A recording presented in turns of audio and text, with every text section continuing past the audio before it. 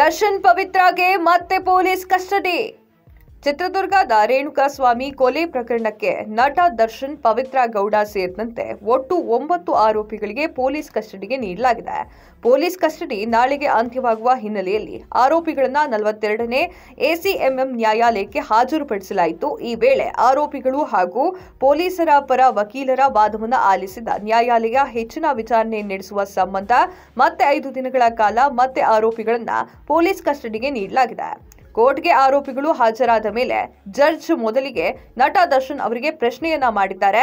ಕಸ್ಟಡಿಯಲ್ಲಿ ತೊಂದರೆ ಆಯ್ತಾ ಅಂತ ಕೇಳಿದ್ದಾರೆ. ಇದಕ್ಕೆ ದರ್ಶನ್ ಅವರು ಇಲ್ಲ ಅಂತ ಉತ್ತರವನ್ನ ನೀಡಿದ್ದಾರೆ.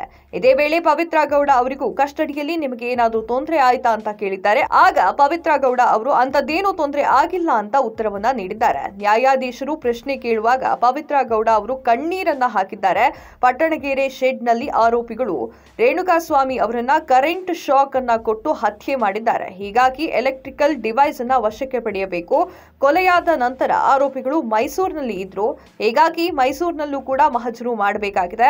ಆರೋಪಿಗಳ ಹೇಳಿಕೆ ಸೋರಿಕೆ ಆಗ್ತಾ ಇದೆ. ಅದಕ್ಕೆ ಆರೋಪಿಗಳನ್ನ ಪೊಲೀಸ್ ಕಸ್ಟಡಿಗೆ ನೀಡುವಂತೆ ವಕೀಲರು ಮನವಿಯನ್ನ ಮಾಡಿದ್ದಾರೆ. ಈ ಕೊಲೆ ಕೇಸ್ ಸಂಬಂಧ ಸಾಂದರ್ಭಿಕ ಸಾಕ್ಷಿಗಳನ್ನ ಮ್ಯಾಚ್ ಮಾಡಬೇಕಾಗಿದೆ. ಈ ಕೃತ್ಯದಲ್ಲಿ ಸಾಕ್ಷಿ ನಾಶ ಯತ್ನ ನಡೆದಿದೆ. ಮೃತದೇಹ ಎಸೆಯಲು ಡೀಲ್ ಆಗಿದೆ. ಮೂವತ್ತು ಲಕ್ಷ ದರ್ಶನ್ ಡೀಲ್ ಅನ್ನ ನೀಡಿದ್ದಾರೆ. ಅದರ ರಿಕವರಿ ಸಹ ಮಾಡಬೇಕಾಗಿದೆ. ಲಕ್ಷ ಲಕ್ಷ ಹಣವನ್ನ ವಿವಿಧ ಆರೋಪಿಗಳಿಂದ ಸೀಸ್ ಮಾಡಲಾಗಿದೆ. ಅಲ್ಲದೆ ಪ್ರಕರಣವನ್ನ ಮುಚ್ಚಿ ಹಾಕಲು ದೊಡ್ಡ ಸಂಚನ ನಡೆಸಲಾಗಿದೆ. ಸಾಕ್ಷಿ ನಾಶ ಮಾಡಲು ಆರೋಪಿಗಳಿಂದ ಸಂಚು ಮಾಡಲಾಗಿದೆ. ಅದಕ್ಕೆ ಸ್ಥಳ ಮಹಜರು ವೇಳೆ ಅನೇಕ ಸಾಕ್ಷಿಗಳು ಲಭ್ಯವಾಗಿದೆ. ಆರೋಪಿಗಳು ಕೃತ್ಯದ ಬಗ್ಗೆ ಸ್ವತಃ ಹೇಳಿಕೆಯನ್ನ ನೀಡಿದ್ದಾರೆ ಅಂತ ವಾದವನ್ನ ಮಂಡಿಸಿದ್ದಾರೆ.